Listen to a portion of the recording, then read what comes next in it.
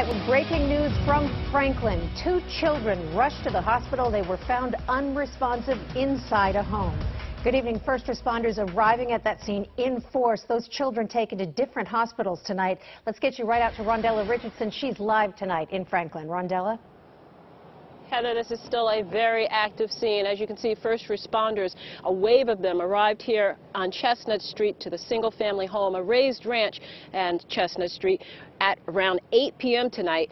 And the call was for two children, both under the age of 10, both unresponsive. And the adults outside of the home absolutely distraught this evening as police arrived.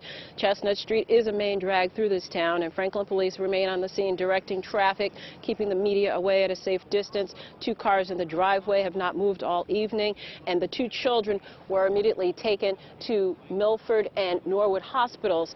Back here on the scene, much of the police activity most recently has been in the top floor it would be screen left window, which is lit. Law enforcement has been in there flashing. You see the flash of cameras going off continuously over the last hour. They haven't said what they're looking for at this point or what the condition is of those children. We hope to have more information soon. But at this point, two children, both under 10, taken to the hospital unresponsive. Live in Franklin, Rhondella Richardson, WCVB News Center 5.